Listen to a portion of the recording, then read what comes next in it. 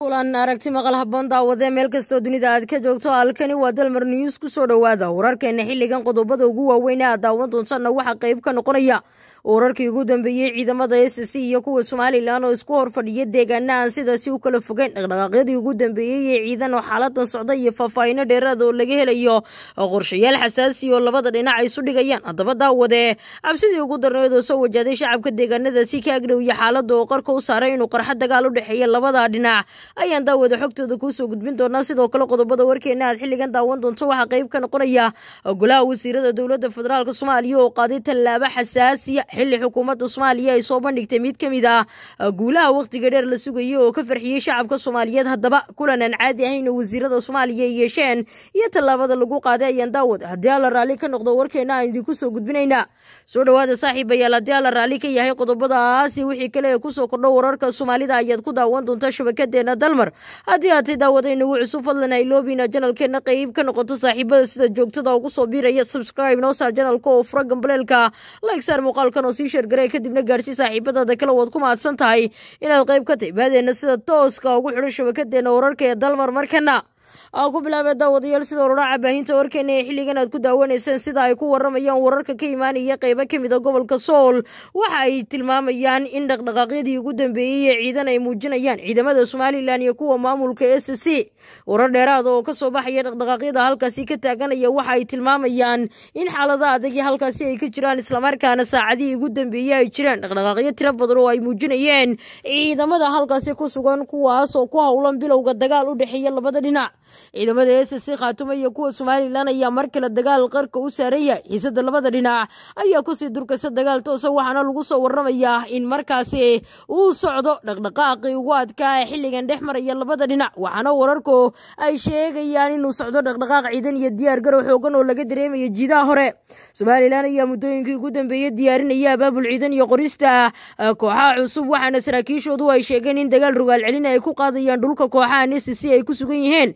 waxaana la ogyahay in ciidamada somalilan dhibaato xoogan ay ka soo gaadhay dagaalkii ugu dambeeyey ee labada dhinac dhex maray shan iyo labaatankii agost ee sanad kale ku guda jirna kaas oo gebi ahaanba lagaga saaray qaybo badan oo ka mid a gobolka sool. Dhowaan maamulka s c waxaa loo aqoonsaday ku kumeel gaadha kadib digreeto ka soo baxday dowladda federaalk soomaaliya. Dhanka kale arrintan waxaa si toosa u diiday xukuumadda madaxweyne muuse biixi cabdi oo iyagu tilmaamay inaanay aqbalahayn in qaybo ka mid a deegaanada somalilan loo aqoonsado kuwa iyaga ka madax bannaan waxaana ay somalilan ku celcelisay dhaqdhaqaaqyadani ay yihiin kuwo marnaba aan la aqbalahaynin. Wararka lagu kalsoon yahay ee saacadihii ugu dambeeyey halkaasi ka imanaya ayaa tilmaamaya in xaaladuhu bururse iyo jawi dagaal oo aad u cakiran uu halkaasi ka taagan yahay. Waxaana intaasi ay ku darayaan xoguhu in qaar ka mid a shacabkii deegaanadani ka agdhowa isaga hulweeleen iyagoo naftooda la raadinaya meelo dhaama maadaama halista dagaalku uu noqon karo mid sii fida maalinba maalinta ka dambaysa maadaama labada dhinacba ay haystaan. Noocyada kala duwan ee hubka aadika u culus ee geli kara dagaalada wakhtiga dheer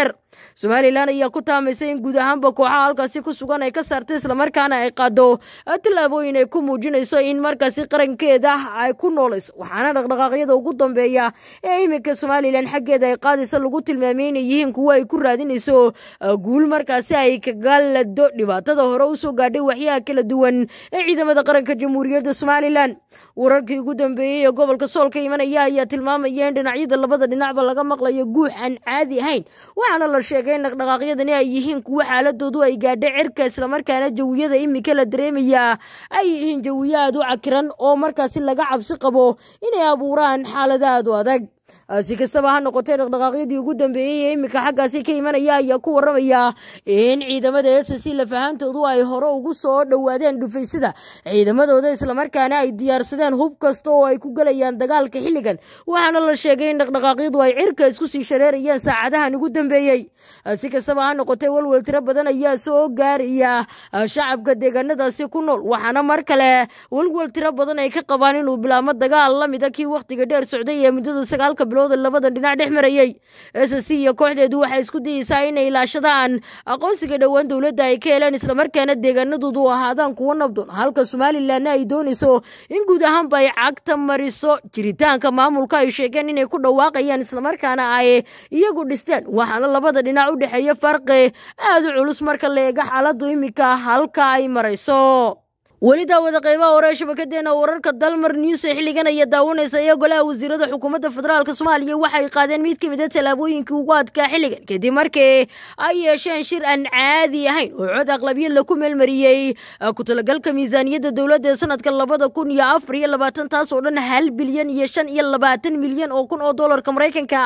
Miisaaniyadda dowladda ayaa sanad gaadhay in ka badan hal bilyan oo dollar taas oo ku timid dakhliga gudaha oo la tilmaamay inuu kordhay in ka badan labaatan boqolkiiba. Waxaana ahmiyadda la saaray amniga qaranka iyo horumarinta adeegyada bulshada. Ra'iisul wasaaraha xukuumadda federaalk soomaaliya oo gudoominayay shirkan aan caadiga ahayn ayaa sheegay in miisaaniyaddan ay ka turjumaysa baahiya iyo duruufaha dalka islamarkaana deynta laga cafiya dalka dhammaadka sanadkan ay sii kordhi doonto si kor loogu qaada adeegyada dowladdu gaarsiinaysa bulshada.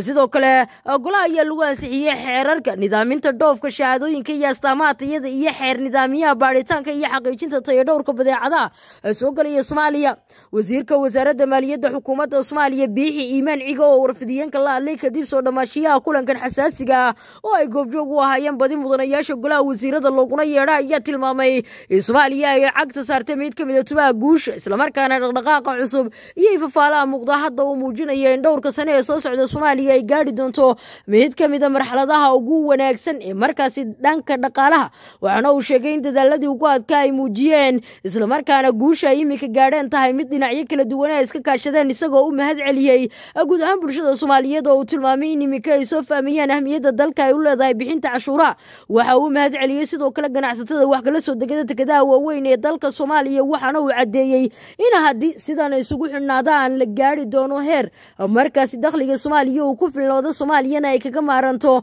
kaabidda kala duwan ay ka hesho caalamka. Waxa uu caddeeyey in natiijada wanaagsan ee laga leeyahay in markaasi soomaaliya laga cafiyo deymaha loo haysto inay tahay mid ka mid a mid gaadhay didolooyinka xilligan ugu wanaagsana. Waxaana uu tilmaamay in dadaalka ugu tirada badan ay ku bixin doonaan sidii loogu guulaysan lahaa arrintani. Tallaabada dowladda federaalk soomaaliya ay qaaday iyo shirkan caadiga ahayn ee golaha wasiiradu yeesheen waxaa si weyn u soo dhoweeyey qaybaha kala duwan ee shacabka soomaaliyeed iyagoo qaar ka mid a kuwa aragtiye laga weydiiyey sheegeen inay muujinayso in soomaaliya mar kale ay cagta saaraysa waddada dibudhiska dowladnimada. Islamarkaana arrintani ay tahay mid ka mid a guulaha hordhaca ah ee u hoyday qaranka soomaaliya waxaana in badan oo ka mid a ay ku celceliyeen in xilligan muhiim ay tahay in soomaaliya dadkeedu ay fahmaan muhiimadda canshuur bixinta iyo ka shaqaynta waxyaabahane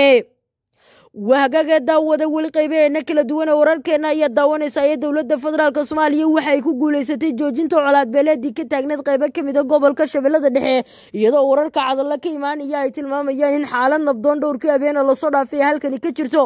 Dhaqdhaqaaqyo ciidan ayaa ka bilaabmay degmada cadallo oo muddooyinkii ugu dambeeyey dagaal qaraadh uu ku dhex marayay qaybo ka mid a beelaha walaalaha ee wadadega halka waxaana go'aano la soo saaray lagu tilmaamay in tallaabo cad laga qaadi doono cid kasta oo jebisa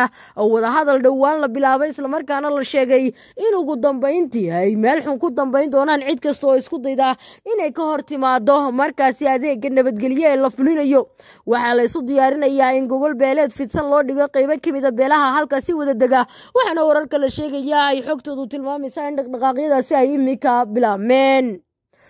guud ahaana warkii dalmaro xilligan aad kala socotay halkan daawada waa intaasi haddii aad timid ku soo cusub shabakadeena nagu soo bir oo hayloobi inaad sabscribe inoo saarto janalka like saar muuqaalada halkan aan soo gelino. Sii sheergaray oo weliba gaarsi asxaabtaada kale waad ku mahadsantay inaad qayb ka tahay bahdeena tooska ugu xidhan ee nabadgelyo